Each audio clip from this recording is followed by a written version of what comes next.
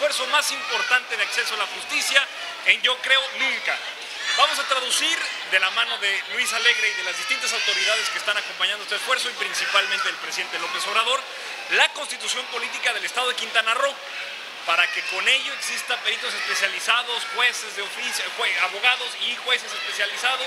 que le permitan a esta comunidad, una comunidad maya, la mitad de las personas de esta comunidad no hablan español, poder tener el acceso a la justicia por una cosa tan sencilla, que las leyes estén en el idioma que hablan. Por lo tanto, los jueces también tienen que tenerlo y así los abogados de oficio. Estamos haciendo este recorrido para que el 18 de septiembre, de la mano del presidente López Obrador, del gobernador Carlos Joaquín Colwell y también del diputado eh, Luis Alegre, estemos dándole a esta gente la oportunidad de acceder, acceder a la justicia como nunca antes. Por supuesto, el diputado de Morena,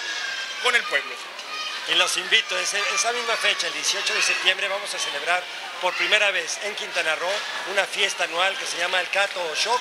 que es una fiesta un poco parecida a lo que hoy es en la Guelaguetza de Oaxaca, pero vamos a celebrar con eh, folclore, con gastronomía, pero sobre todo con artesanía de Quintana Roo. Vengan el 18 de septiembre en la ciudad de Chetumal, que es la fecha que vamos a entregar la Constitución del Estado de Quintana Roo en presencia no solo del presidente de la República, Andrés Manuel López Obrador, también nos va a acompañar el presidente electo de Guatemala y el primer ministro de Belice, los dos países vecinos que tenemos aquí con México en el sur del Estado, que compartimos todos la cultura maya. Vengan el 18 de septiembre a Chetumal.